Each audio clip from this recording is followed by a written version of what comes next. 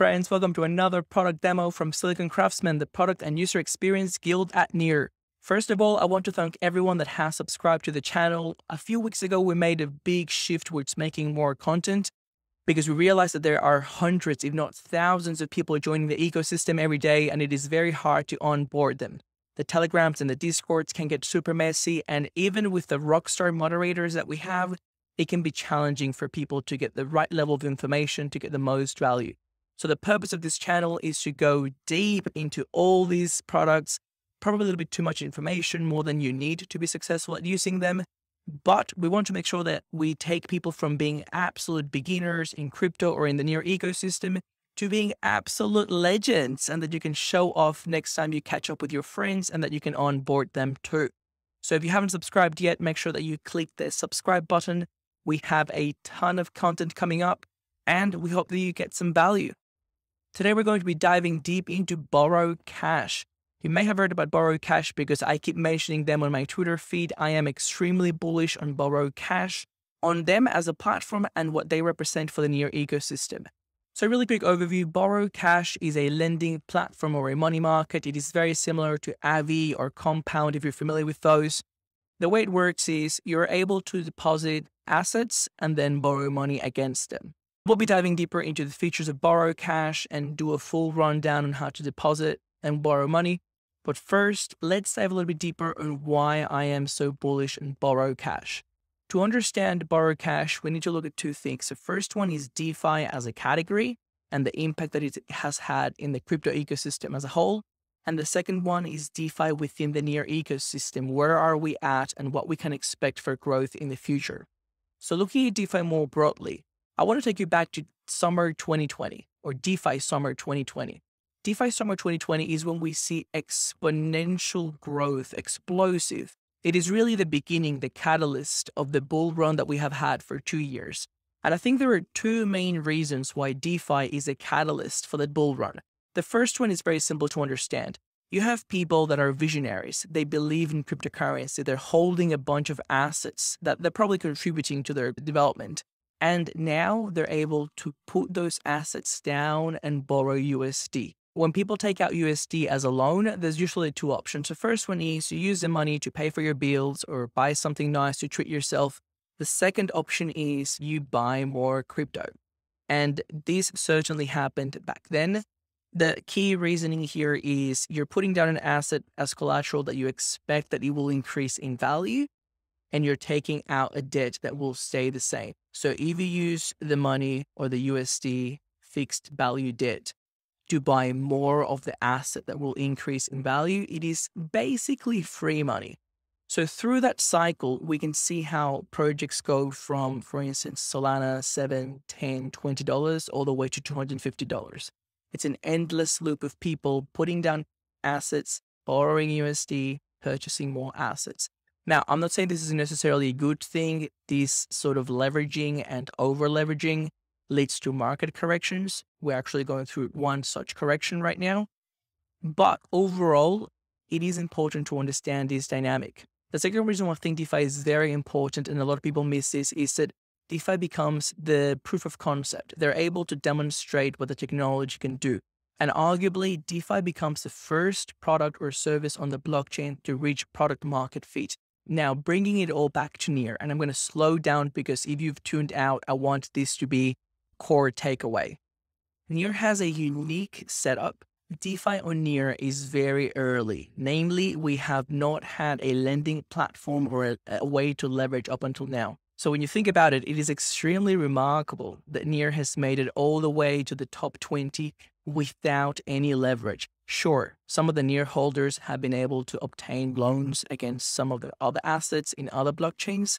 However, we have hundreds of millions, if not billions of dollars of existing near holders who strongly believe in the blockchain and the vision and that are building on it, they have not been able to access liquidity from their existing holdings.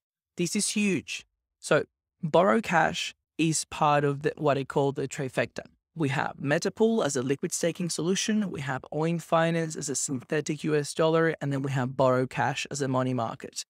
Now, this is not financial advice, but my theory, and please let me know in the comments if you agree or disagree, is that Once we have the ability to borrow money against our existing near holdings, we're going to see very rapid growth because we're going to see the perfect storm of people taking out USD loans against their assets to buy more near, taking loans against their assets to invest the projects in the ecosystem, or ultimately taking loans against their asset to pay for the living expenses so that they don't have a reason to sell near in the short term. What this means to me is we could be looking at a much higher price by the end of the year. However, in this channel, we're not so much interested about price, but we're interested about the product and the growth cycles. So I'm going to give you a really quick glimpse on what the trifecta looks like.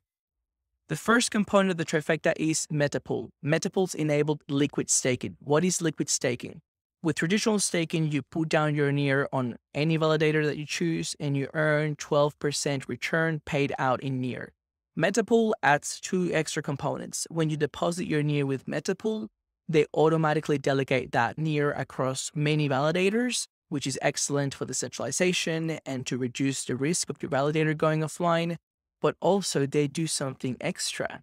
They give you ST NEAR. So ST NEAR literally stands for stake NEAR, and it is a receipt. It is a proof that you have some assets deposited in some validators. This ST NEAR is designed to be taken to DeFi and to be used as what we call DeFi money Legos. I guess that you can tell why I am so excited and so bullish about Metapool. However, if we look at the Metapool stats, we can see that they only have about 2.5 million near deposited, which at current prices, it's gone down a fair bit recently. It's just over $25 million. To put things in perspective, there are currently 383 million near staked. 2.5 million Metapool, 383 million near staked.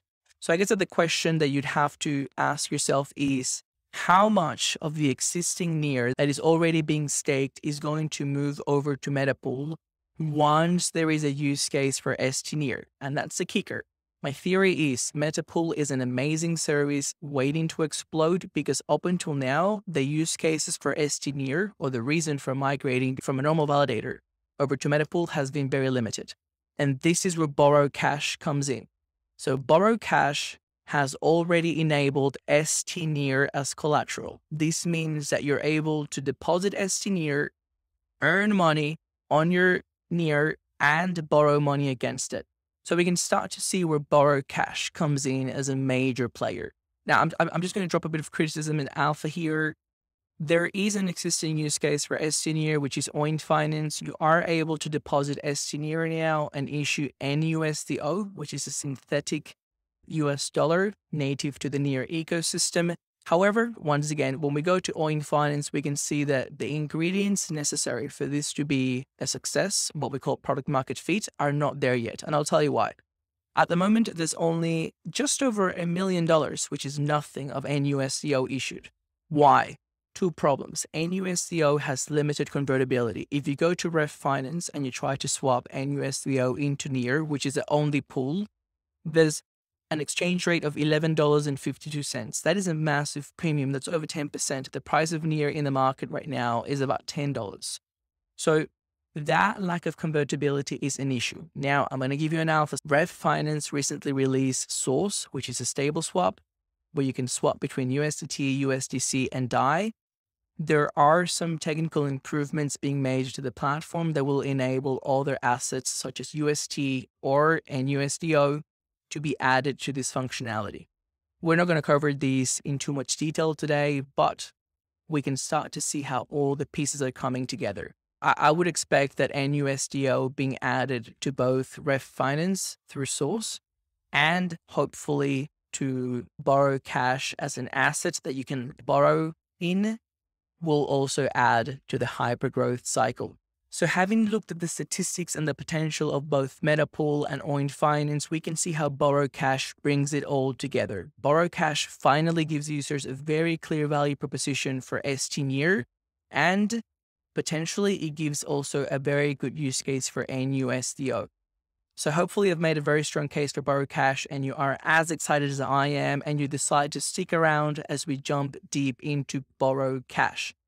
Now, if you're watching this channel, you're probably very smart, and I would encourage you all to always go to the primary sources. Don't wait for YouTube influencers to make a video on something. Everyone's really busy. There's a lot there's a lot happening in the ecosystem. It's very hard to cover everything in time to reap the maximum benefit. So always go to the primary source. So the first thing I would strongly encourage you to do is to follow Burrow Cash on Medium, join their Telegram, join their Discord. Their Medium has only three posts, and the three posts are fire. So the first one I'd like to show you is the initial post from October 2021. I love the extremely simple, strong value proposition. What Borrow does, it unlocks yield from the base layer, it unlocks yield across chain, it enables self-paying loans. Absolutely mind blown. So unlocking yield from the base layer we've already touched on, this would be done through ST Basically, you're able to have your ST generating you a passive income through staking, and you're able to obtain liquidity against that. However, the Burrow Cash team is full of savages, visionaries, ambition, and we can see how they have already planned to include assets from other blockchains such as Stake Near, Bonded Luna, and Staked Sol. Finally, self-paying loans, and this is the beauty about having yield-bearing assets used as collateral. They have an extremely simple example here, which makes it easy to grasp with the maths. Imagine taking out a 100 USDC loan using $1,000 worth of ST Near as collateral. Remember, ST Near earns 10% Near roughly per year. Assuming modest price movement, so the price of Near stays the same, the loan will pay itself off in less than a year. This is essentially the equivalent of borrowing against your future yield. This is so incredibly exciting. Now, there's a very cheeky reference here to modest price movements and that being a fair assumption. Once again, the kicker here is that Near has not had leveraging yet. If you are ever considering a strategy of leveraging through lending, you really need to know where you are in the market cycle. So borrowing money against Near right now to buy more Near probably safer because we are at an earlier stage of explosive growth. Borrowing money against Solana at $200, much riskier because the chain has already had 100x growth. So once again, you always need to manage your personal risk and you need to do an assessment of where the market is at. The second post goes into detail on, on how to use the testnet Testnet is really good if you just want to play around with the platform, familiarize yourself with the concept. It's all fake money. There's nothing at risk. There are detailed instructions, which will be in the description, and a form to provide feedback. And then finally, we have the major announcement from the 21st of January, four days ago. We're getting it early. Burrow Cash has finally launched in beta private mode. This means that the product is still being tested. However, it is now available to the public and anyone can go and participate. There is a form for providing feedback, which I would strongly encourage everyone to do. And there is a bug bounty. The most important thing that you need to know that you need to take away from this beta testing program is do not put more than $500 in in the unlikely event that there is a flaw with the contract or with the platform and some users experience losses the platform is willing to cover up to $500. So let's jump into Burrow Cash. So the interface is very simple. We can see that from the beta testers, it's $45,000 already deposited. We did a bit of uh, beta testing yesterday. On the column on the right, you can see that I've already deposited some ST Near and some Near. The platform allocates a different collateral value to each asset. So for instance, ST Near it's only 50%. That means that if we deposit $100 worth of ST we can only borrow up to 50 USD. Each asset has a different collateral value based on how risky the asset is deemed to be. Uh, the, the price swings near the collateral value is 60%. It's interesting that for most users, it doesn't really make sense to deposit near as collateral because you could deposit ST Near and the loan pays itself. However, there is a consideration that even though the loan pays itself, you're able to borrow less money. Let's see what the collateral value is for ETH, 60% as well. So it's a very conservative platform. I like it. When we go to the borrow section, there is a borrow APY. These interest rates are calculated dynamically. So it is advised that you always come back and check the status of your position. Also recommended that you always keep some funds on the side in case that you need to add more collateral to maintain your position healthy. Yesterday, I borrowed some USDC. I'm currently paying 0.74% on that loan. I really hope that as the platform grows, we're able to attract enough capital to provide extremely competitive interest rates, such as this one, because I've been accumulating NEAR for a while and I would really love to be able to borrow at these rates. On the portfolio section, we can see all the assets that we have currently deposited and borrowed. And we have very simple call to actions. We're able to repay our USD and we're able to withdraw or adjust your collateral, which means we can take out the assets that are not currently being used towards a loan and we're also able to adjust how much of the assets that we have deposited we want to be counted as collateral. Remember that this is a money market, so when you deposit assets, you're actually earning interest in them. So you may not want all the assets to be used as collateral. Just to wrap it all up, I would strongly encourage you all to go to Metapool and do some staking there, get ST Near, go to Oin Finance and issue some ANUSDO, and most importantly, go to Burrow Cash and do some beta testing. Remember, do not put more than 500 US dollars in. And if you come across any errors and you have any recommendations on how the platform can be improved, there is a form. Now, the final alpha leak before I let you go, if we go to the documentation, the very last section is the DAO. So Burrow Cash is a decentralized platform and will be owned and governed by the community. It has a very similar structure to the Ref DAO. There will be an initial structure that has five council members, often from the core team. And this is the important bit there will be 15 members from the community that can vote on proposals. From my experience with REF, the way that community board members are selected is from within the community, people that are very active on the Discord, on the REF, just answering questions, helping onboard people that do user testing, that provide really useful feedback, that have experience and insights from other ecosystems that can be used from the platform. These are the people that their input is acknowledged. Also, a cheeky side note community board positions are often remunerated, so it could also be a nice way for you to start accumulating a bit more coins.